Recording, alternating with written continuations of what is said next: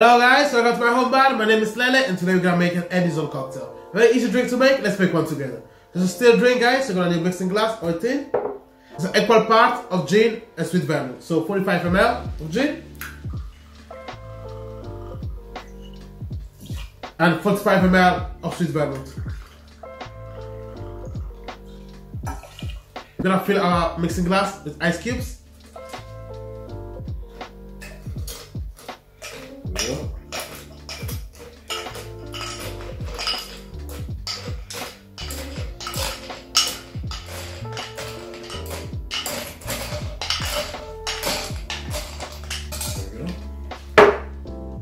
make sure your mixing glass is full of ice.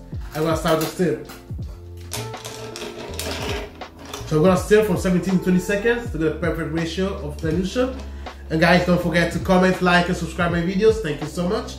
Here we go. We're gonna strain everything into our glass.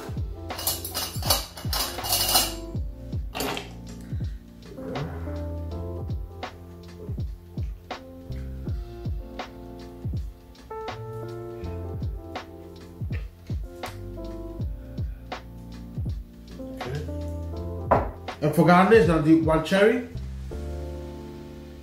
Here we go. Enjoy the drink, guys.